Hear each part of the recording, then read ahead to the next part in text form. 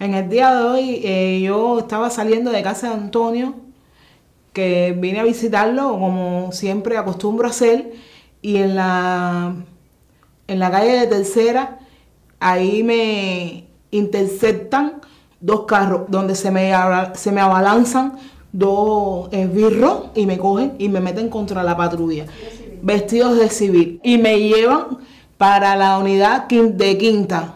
Eh, me metieron en un, en un cuartico donde estuve bajo interrogación. En eso entró un, uno con una estrellita. Cogieron, abrieron el bolso, me ocuparon eh, eh, un dinero que yo tenía y unos discos que yo tenía. Ellos querían que yo firmara en un acta y yo le dije que no iba a firmar nada. Que ellos lo que estaban eran robándome. Y él me decía, no, nosotros no te robamos, tú lo que eres una mercenaria. El moreno alto, que dice que se llama Jordan, no sé, me dice, ¿por qué dile a tu jefe, a tu jefecito? Y yo le dije, no, yo no tengo jefe. Cuando él se está refiriendo a mi jefe, a mi jefecito, se está refiriendo a Antonio Rodiles. Y entonces cada vez que mencionaba a Rodiles, era una cara así de, de diabólico, así.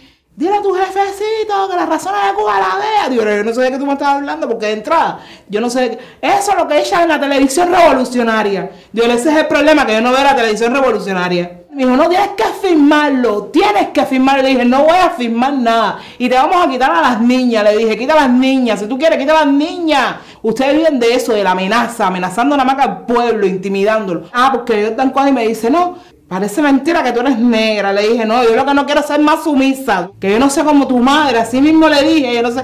Tu madre tiene que sentir vergüenza de ti. De cómo usted, yo no sé con qué moral tú le miras la cara a tu mamá. De cómo le dan golpe a las mujeres, que eso no es de hombre.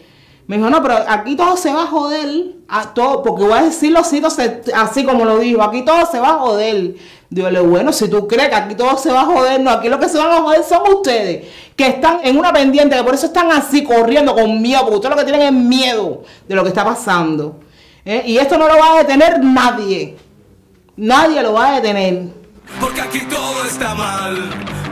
Y hay que gritar lo que pasa. Para decir abajo Fidel, hay que decirlo con maña. Y en el tanque te puedes meter. Porque la ley no sirve de nada. Abajo que tú sabes. Y ahí esos presos políticos, antes de que llegue la noche, van a estar sueltos. Ya. Abajo que tú sabes.